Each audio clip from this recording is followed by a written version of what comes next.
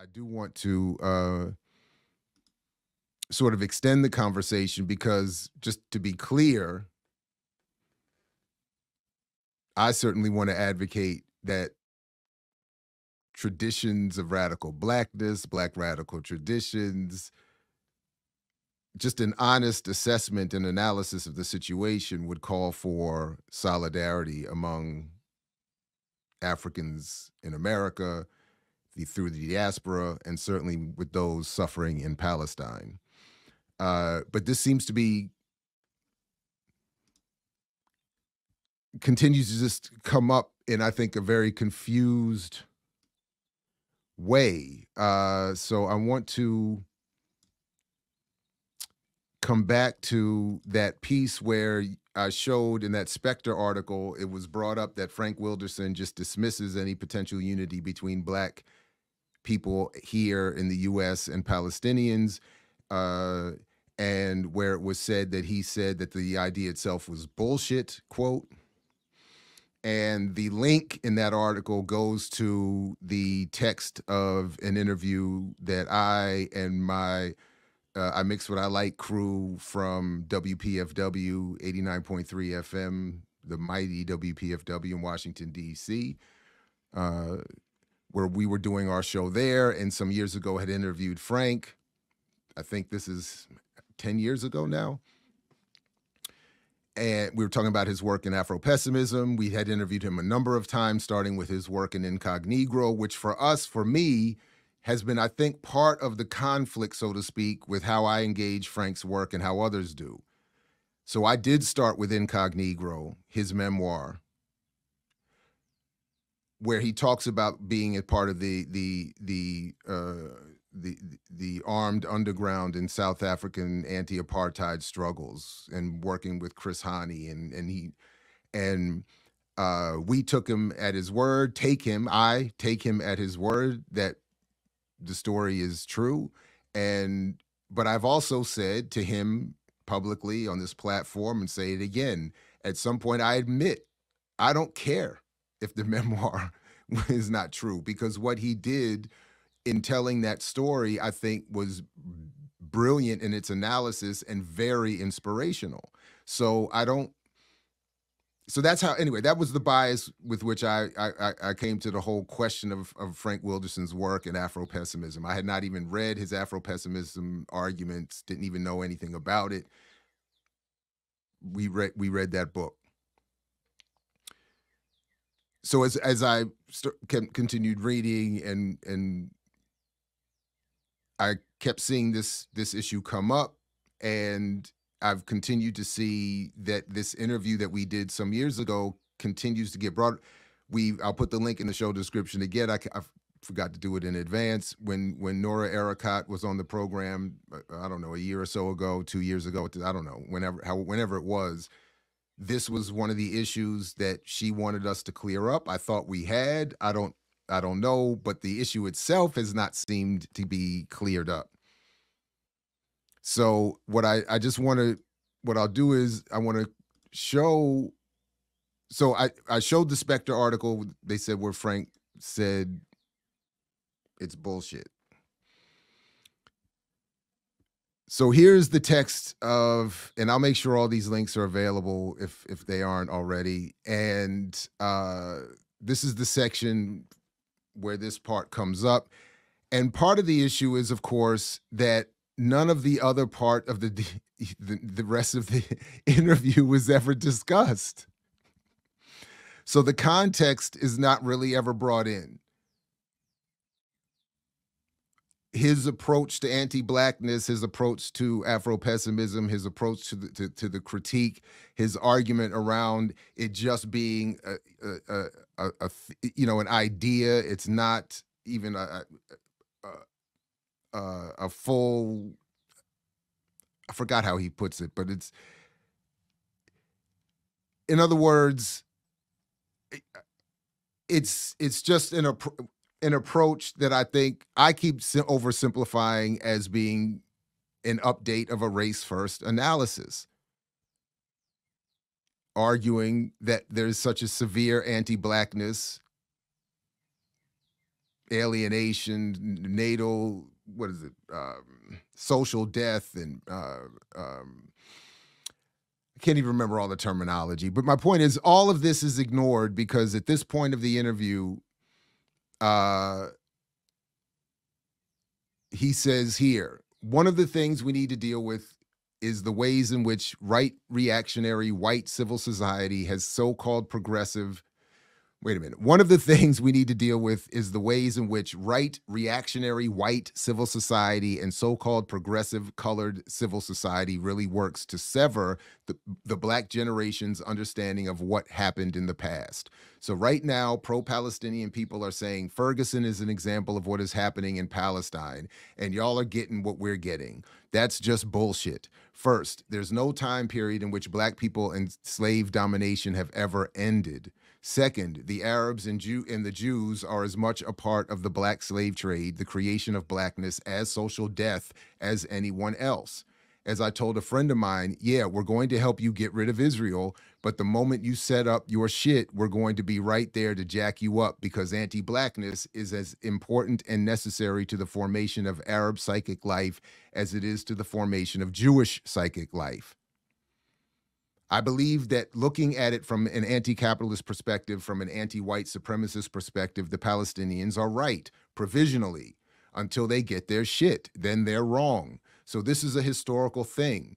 What we have to do is remind each other to know our history in terms of slavery and our resistance to it, but also to be able to have x ray vision and say that just because we're walking around in suits and ties and are professors and journalists doesn't mean we're not slaves. That is, to understand things diachronically, and that will allow us to be in coalition with people of color, moving on the system with them, but ridiculing them at the same time for paucity, the lameness of their desire and demand. And for the fact that we know once they get over their own hurdles, the anti blackness that sustains them will rear its ugly head again against us, so that we don't fall into a sort of genuine bonding with people who are really primarily using black energy to catalyze the, and energize their struggle. In Ferguson, we can see the problem. So many people in the streets declaring, I am human too. And there it is the symptoms of Black recognition that we are up against something much larger than just police brutality, much larger than poverty and discrimination, that we are still unconscious as we're marching in the streets and angry at and and a reporter comes and sticks microphone a microphone in our face and will yell i am human too. If that's the first words out of so many people's mouths then the unconscious is trying to tell you something about the real nature of your oppression that even you can't handle.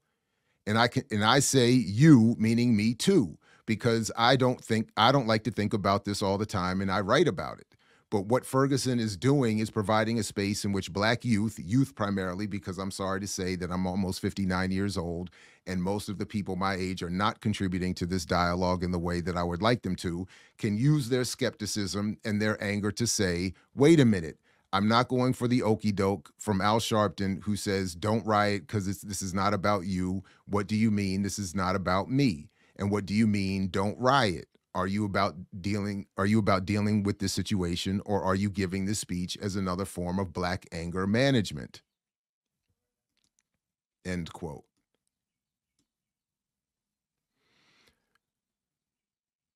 So i understand taken out of context taken in that one graph it comes across as maybe terse caustic. But i don't think that the underlying point he's making is given fair run when it's just dismissed as oh he's saying we can't be in solidarity with Palestinians and that and any notion of that is bullshit. Why is he saying it's bullshit? Not because he's saying we shouldn't be in solid as I interpret it, not because he's saying we shouldn't be in solidarity with Palestinians, but he's saying that that doesn't get to the true nature of what our problem is or what or what the black condition is in relationship to these state white formations. And I think it's unfair to to to and I do admit a bias that's that that not only in terms of the way Frank I was introduced to his story in Incognegro, but the I do admit a bias when it feels to me that like anyone including other black people are telling black people you don't have a right to analyze any situation in any way that you don't have a right or have no room or should be dismissed because you've raised a question that I at least has a a, a, a, a sound basis in historical fact and logic. So I've always rebe- I've I've always struggled with even where I don't fully agree. We've talked about it with Frank where I don't always agree or I don't always understand, but my point is always kind of the same with all of us. I feel like there's not enough room for principled and even just comradely disagreement and I don't understand why I think well I could speculate, but but I don't like that so much is is there's is so quick to just want to dismiss even a conversation or an investigation of what is actually being said. And it's it's not even necessary in a piece like the Spectre piece to even make reference to this. What is the point other than to hold Frank up as a straw man so that you can make the point that black people should be in solidarity? What about all of are there is there no one else who you think is is discouraging that? Why is Frank dragged into that? And then I do feel a kind of way that that it also involves an interview that I was a part of, and and and so kind of like with the trained Marxist things, my name keeps coming up in some of these little Google alerts and little footnotes here and there.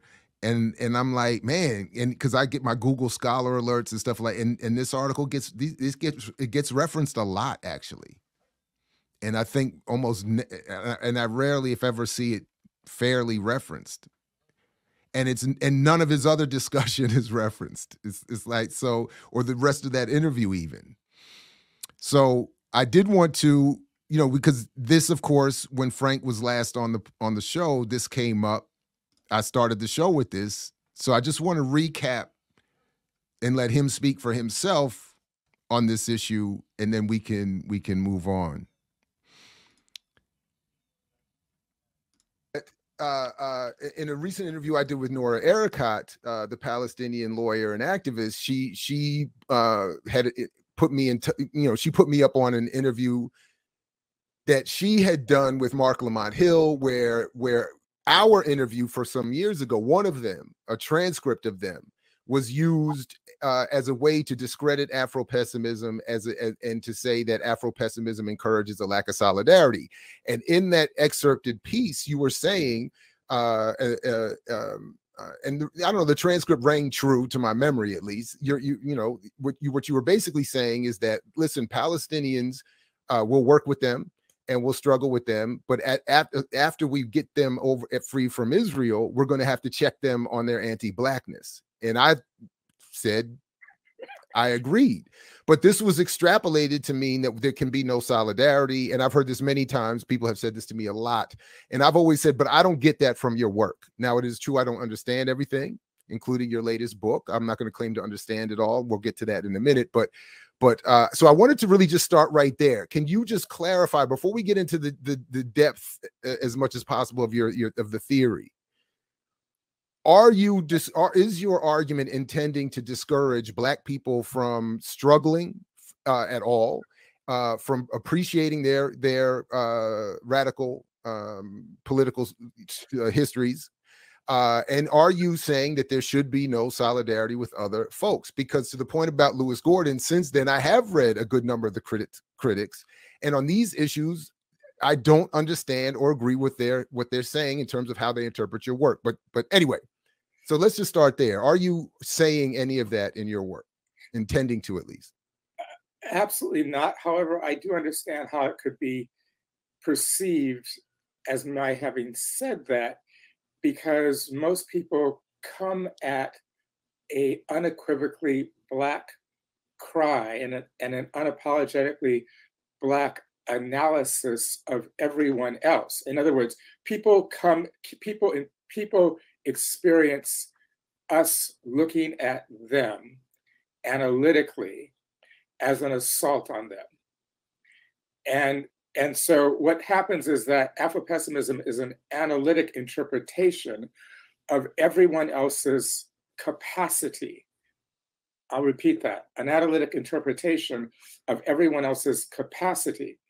And just as Marx condemns the capacity of the capitalist, whether it's a good capitalist like George Soros, who uh, is actually, uh, I want to give a shout out to George Soros because um, he's, he's a part of the, the, the distribution network for Afro-pessimism. When he poured millions of dollars into uh, urban, uh, urban debate camps what he did is he is he created a he created a, a, a pipeline for Afro-pessimist texts to be um, infused in the inner city without even knowing what he did. So so thank you, my man. You know what I'm saying? but but but what I'm trying to say is that what I don't give a fuck about. Can I swear on here? Absolutely. Okay. I really don't care that the sentimental response to the analytic critique clouds the other person's capacity to understand the analysis. I, I think that we, for, for, for hundreds of years, we have reached across the water and tried to help these people understand our suffering and understand their relationship to it. And that's a, that's a, uh, that's a kind of cosmic um, manifestation that that began, you know, over 1400 years ago in the Bantu migration. It's called Ubuntu, which means goodwill and compassion and, and love of the other. And so, what you can say, what you can rightfully say, is that there is no Ubuntu in Afro pessimism. It's just a cold gaze. But that doesn't mean that it's actually saying what other people experience it to be saying. Uh, solidarity is is I mean I've I've you know I'm checking myself now at 65 on on my solidarity. I'm I'm I'm fucking sick of it. Uh, I have struggled in more people's uh, oppression contexts who are not black over the past 53 years than I have in decidedly black struggles.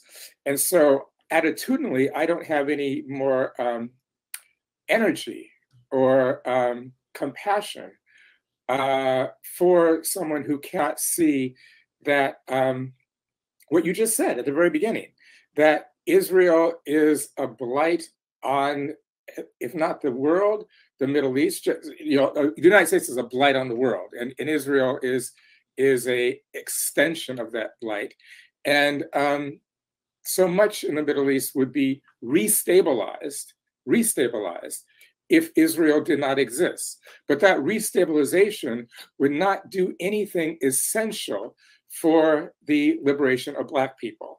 And I did a six hour uh, um, Afro pessimist workshop for 35 activists slash leaders of Black Lives Matter from Pennsylvania, New York City, and uh, in New Jersey back in 2016. This was at the, actually the Audubon Ballroom, which is now the Malcolm X uh, Shabazz Foundation. And in that in that um, six-hour workshop, the Black Lives Matter people talked to me about a sojourn they took to Palestine for two weeks, in which uh, they were going with this whole idea that Ferguson is Palestine and before they went, they had asked the Palestinians in Gaza if they could meet and Ramallah, if they could meet uh, Black Palestinians. And they were told yes. And when they got there, they were redirected for, for, for almost 10 days away from meeting any Black Palestinians. And when they finally put their foot down and insisted that they do that, they had one on ones with Black Palestinians who talked about the structure of feeling of anti-blackness that they experience in a community that's being bombed every day by the Israelis. Okay, they didn't talk about Israeli anti-blackness. They talked about Palestinian anti-blackness. I had the same experience when I spent six weeks in Cuba. You know, and and this is, and I'm really sick and tired of people. You know, and, and, what, and what I mean by that is is I was uh, with with uh, Medea Benjamin's group, um, Global Exchange, uh, in Cuba for six weeks and um, we were 13 Americans, three of us black, um, and we were paired with two young communists And we went all around the island together for, for that period. And we met with government officials and went to hospitals. It was a groovy experience. And then at one point, the Black Cubans said, We would like a session with the Black Americans, just the Black, just the three Black Americans. And so three Black Americans met with about eight Black Cubans out of that 26 group of Black Cubans. And the white people from the United States, the 10 white people were like, okay, cool. We'll go on a bus, a field trip for a day. So y'all can have the crib. We lived in this big house in Vedado, which was a rich neighborhood that had been subdivided for poor people. But the white Cubans were like, what the hell is going on? Uh, we're all communists here. We're all, you know, and so, and then, and to, and to make matters even worse, this is what I, this is why psychoanalysis is so important to, to, to Afro-pessimism, because the force of the unconscious is what you described to me in your opening remarks. And the force of the unconscious actually doesn't have any relational dynamic to it. The force of the unconscious is such that these three Black Americans, one of them was fluent in Spanish.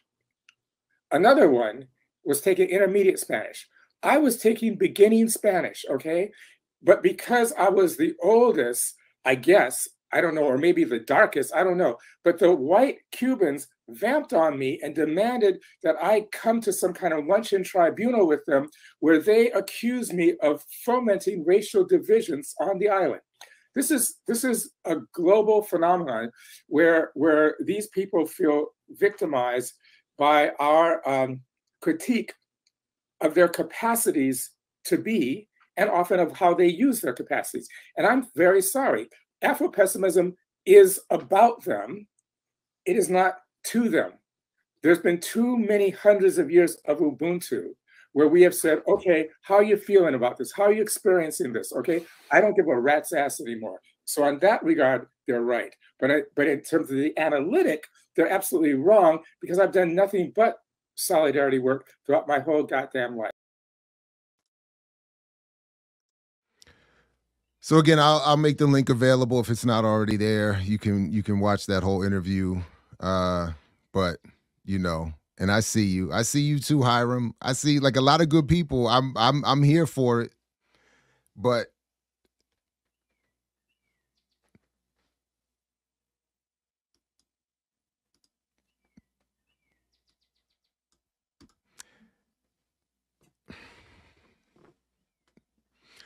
I guess all I can say is is when folks drag his name, I don't think that they, you know, and it's fact, in fact, in fact, Hiram, a lot of people who who got that problem with You him just don't read, beloved.